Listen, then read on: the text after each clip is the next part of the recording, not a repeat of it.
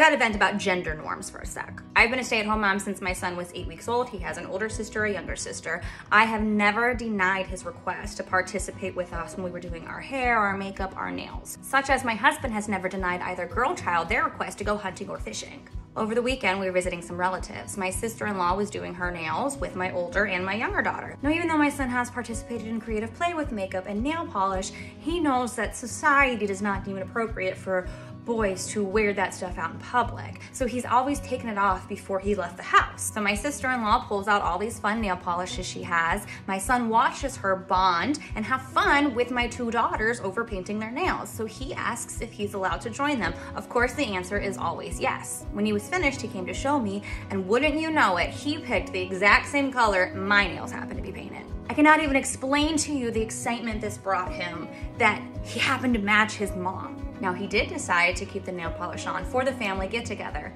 Just so happens that an older relative did make a comment. He made the comment that he thought my son was joking about wanting to paint his nails. My son replied, no, I was being serious. The relative then says, well, you need to take that off.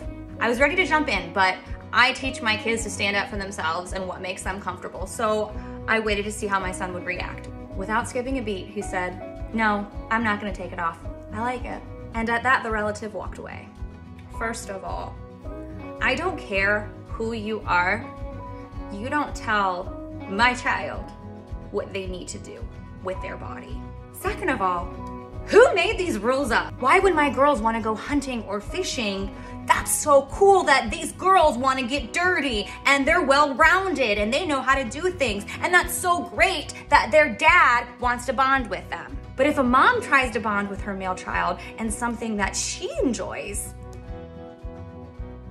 unacceptable. Not gonna lie, people have made very nasty comments to me about my son liking musical theater. He is eight years old. Let him like what he wants to like. Take a sip of my coffee and get heated. I'm gonna tell you something, okay? My husband also had a mother that allowed him to enjoy the creative play of makeup, nails, even wearing dresses and he still knocks my socks off every night. Seriously though, my husband is so outdoorsy and like survival man. He can hunt, fish, build us a literal shelter if need be. But he also knows how to braid our daughter's hair and paint their nails and help them wear cute dresses. Let children, scratch that. Let people enjoy things. Didn't we all just go through like a worldwide pandemic and things got real freaking scary for a while? Why are we taking away things that bring people joy? Shouldn't the moral of this entire pandemic be to bring people closer and allow people to live the lives they want? No, we're too worried about an eight-year-old boy painting his fingernails. It is absolute bullcrap, but I am so proud of my son for standing up for himself. An eight-year-old stood up to a grown man who he barely sees and said, I'm gonna do what I want. It's my body. And if you don't think trans individuals deserve a place and a voice in this world, kindly see yourself off my page.